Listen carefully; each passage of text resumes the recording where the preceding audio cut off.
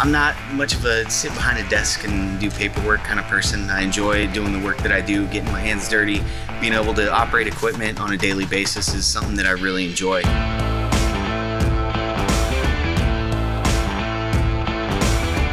I've been doing mechanical stuff since I could really do anything, so I always knew I wanted to be a mechanic.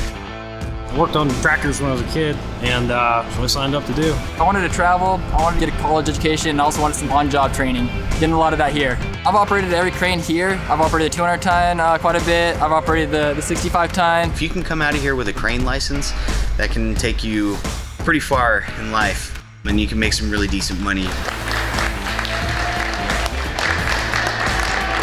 We convoy. We go from point A to point B, and then we basically unpack camp.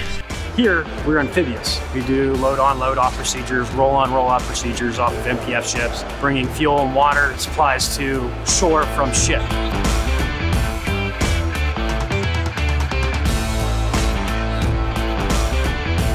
After a disaster, we will go out and clear roads. Asphalt, pavement. Humanitarian aid. We had a Cummins generator completely down. That was powering the ICU. I brought tools with me, got it up and running.